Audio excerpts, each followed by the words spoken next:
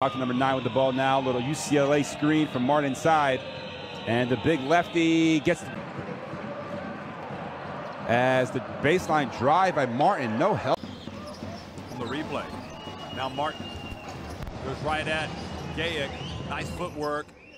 For the Italian side, you see there the three-point number is just one of nine.